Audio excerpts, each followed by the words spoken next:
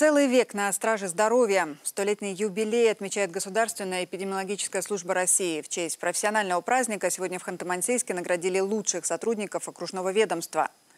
Роспотребнадзоре Югры, включая подведомственное учреждение, сегодня работает свыше 600 человек. Это люди, которые ежедневно несут ответственность за предотвращение развития опасных инфекций, следят за условиями труда, обучения, защищают права потребителей, держат на контроле состояние почвы, воды и воздуха.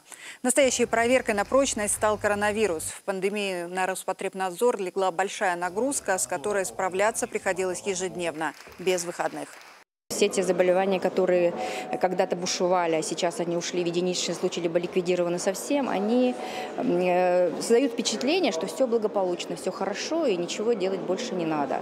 И вот этот вот э, коронавирусный выпад э, в сторону всего мира, и он, собственно, и показал, что нельзя пренебрегать своим здоровьем, нельзя пренебрегать профилактикой.